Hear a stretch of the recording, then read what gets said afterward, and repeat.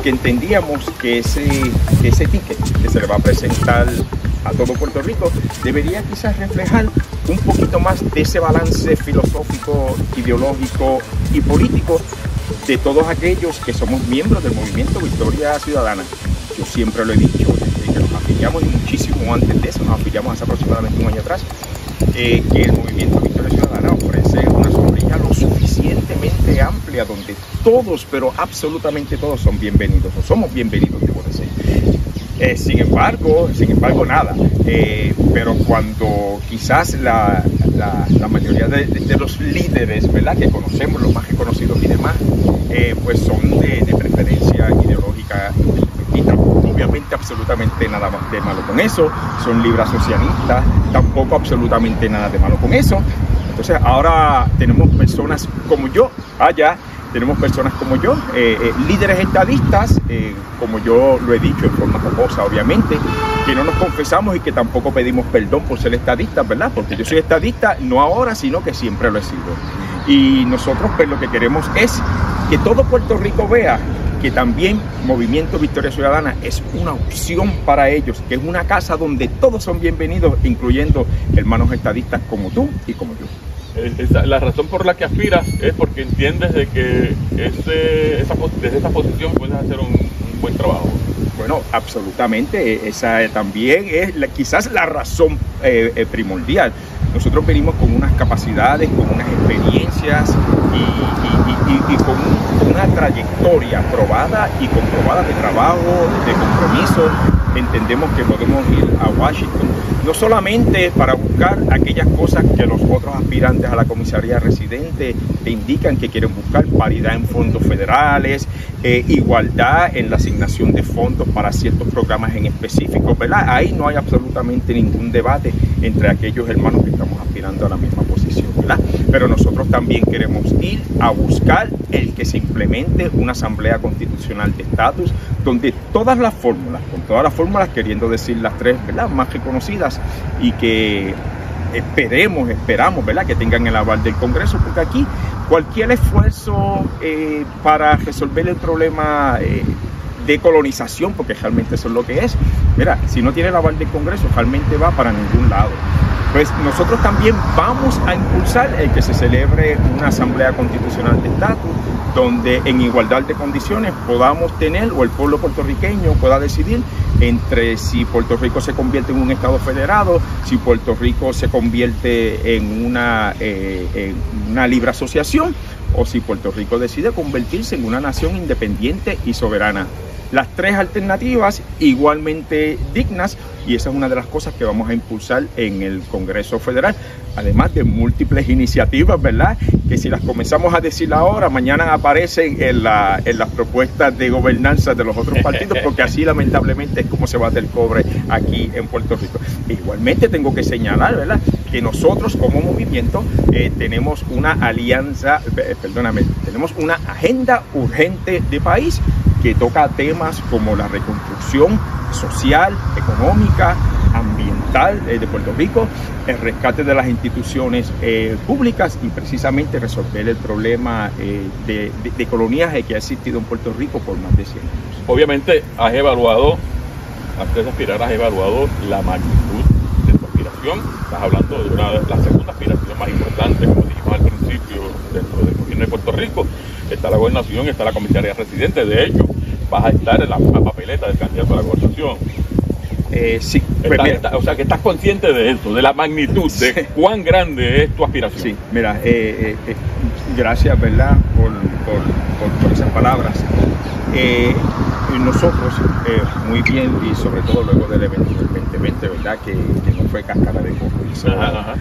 tenemos 3.2 millones de, hermanos puertorriqueños que así lo vieron en vivo a través de, de las ondas televisivas y radiales. Mira, nosotros muy bien pudimos habernos quedado en casa, ¿verdad? Eh, Acá en la comodidad. En la comodidad de la casa, del hogar. Yo trabajo desde, desde casa eh, eh, con, el, gobierno federal. Y, y, muy bien pude haber seguido o ¿verdad? Con la, en la comodidad de, de, de, mi hogar y con esa paz emocional y sin tener que ponerte una vez más, exponerte a la palestra eh, eh, política, que aquí en Puerto Rico es innecesariamente cruel, vil y sucia, porque aquí eso y, lo y luego de esa experiencia del 2020, y luego de esa experiencia con, con los resultados, y aquí son otros, cinco, sí, otros 20 pesos. Y aquí todos lo sabemos. Y yo me pude haber quedado en casa viendo que el país siga explotando encantos como lo está haciendo, ¿verdad? Gracias o cortesía del bipartidismo que nos ha gobernado por más de 60 años. Pero no, pero yo decidí que tenemos que hacer algo. O sea, no te, no te quejes si realmente no vas a hacer algo eh, por el bienestar de tu país, de tu patria y de tus hermanos. Y nosotros por eso, esa es la razón principal por la cual estamos aspirando. Una vez más, hay que hacer algo por nuestro, por nuestro hermoso país, hay que hacer algo por nuestros hermanos. Aquí en Puerto Rico existe demasiado de pobreza.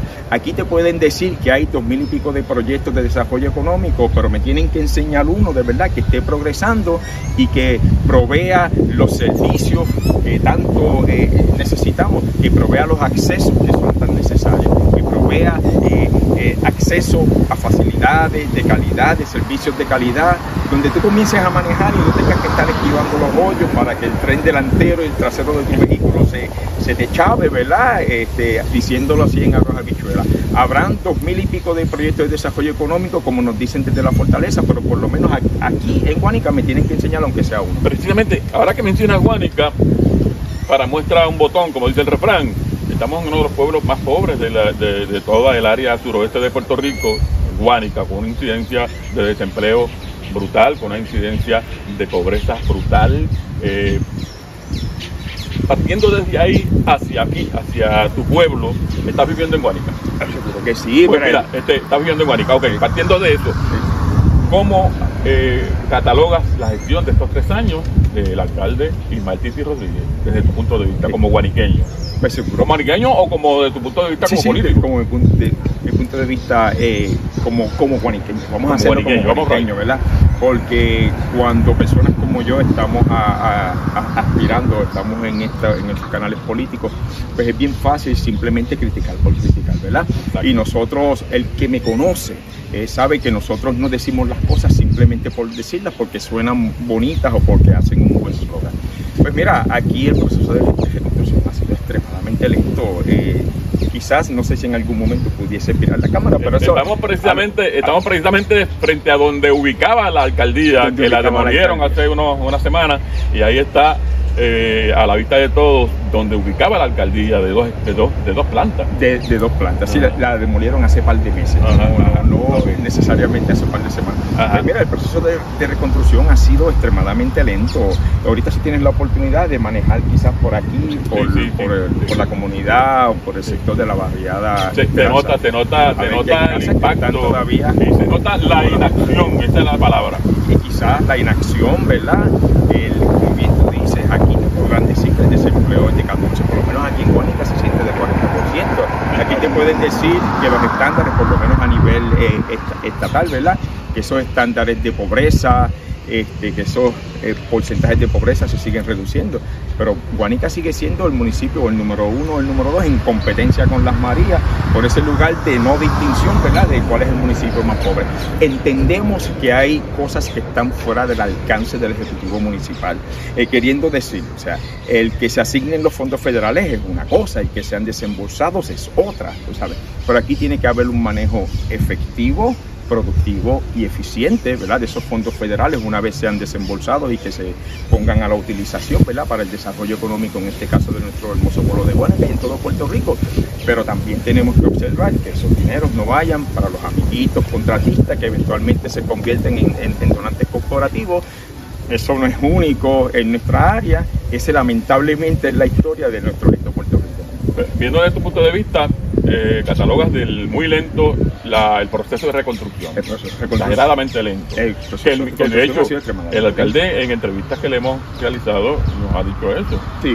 Estaba demasiado lento, educación lentísimo y con, es- los, y con es- el problema de las escuelas, Seguro. etcétera. y esas cosas las compartimos. O sea, por ejemplo, no es, no es culpa del señor alcalde, ¿verdad? Que el proceso de reconstrucción o de construcción, debo decir, de las escuelas en una forma permanente, que eso no se haya comenzado.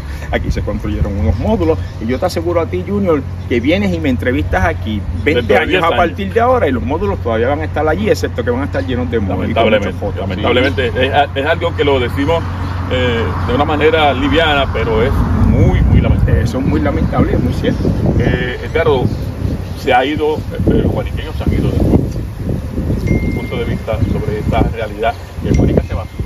Sí, Guanica... de más de 13.000 guariqueños que se han ido. Sí, aquí hubo un momento donde la, población rondaba entre los 22 y 24 mil. Estoy hablando de esos tiempos que cuando miramos hacia atrás eran tiempos de bonanza económica y pensábamos, ¿verdad?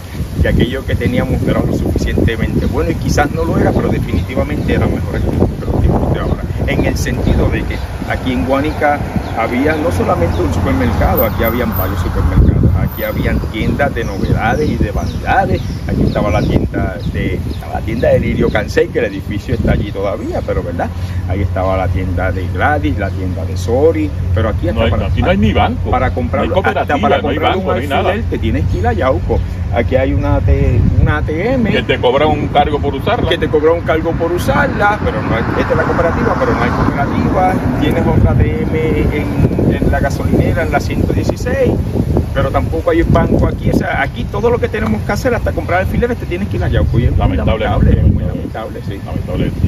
Eh, retomando esta, esta realidad tuya, ya eh, estás, me imagino que estás en la documentación, presentando todos los papeles que son para tu aspiración, que es estatal y federal. Estatal y federal. Tienes que llenar unos requisitos estatales y unos requisitos federales para aspirar. Eh, eh, ¿En qué etapa estás? Eh, ¿Estás comenzando ahora? ¿Vas a comenzar la semana que viene? ¿Cómo, cómo va eso? Pues mira, pues, precisamente, y, para nuestros amigos que nos están sintonizando, le dije a Julio, Julio, la entrevista tiene que terminar antes de las diez y media, porque hoy precisamente me dirijo hacia la Comisión Estatal de Elecciones, específicamente a la oficina de la comisionada electoral, en este caso, del Movimiento Victoria Ciudadana, donde este servidor va a ser sometido a un proceso de entrevista de la misma forma que todos aquellos que aspiran. Como, todo el todo aspirante. Y como, como, ajá, como todo, vaya, va, como todos aquellos que aspiran a, puestos electivos bajo el Movimiento Victoria Ciudadana, van a ser sometidos a un proceso de entrevista.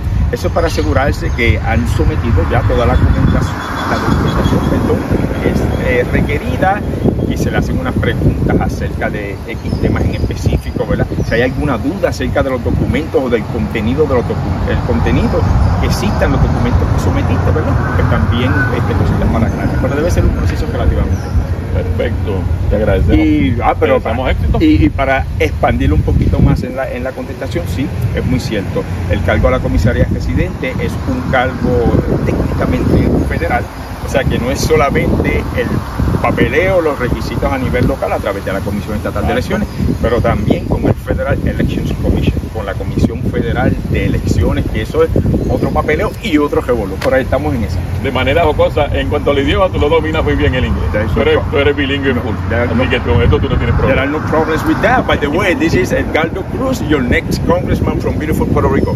Thank you. hey, Amigo, también lo Edgardo Cruz, para comisionado residente por Movimiento Victoria Ciudadana. Eh, conocemos a Edgardo hace unos cuantos años y, no cambia, él siempre es la misma persona y por eso lo admiramos tanto. Hijo de, hijo de pescador, los primeros 10 años de mi vida en el residencial público Luis Muñoz Rivera. Nací en el hospital de la Central de Ensenada en el 1969. son 54, no, no, no, no, saque las calculadoras ahora, no saque las calculadoras ahora para ver cuántos años tiene. Y vivo en la misma casa donde, eh, donde vivieron mis papás y donde hemos estado allí por 44 años, más los 10 del caserío, como decimos aquí localmente, son 54. Finalmente, una nota al calce llevo aquí con, eh, con Edgardo 20 minutos y han pasado 30 personas y 30 personas lo han saludado.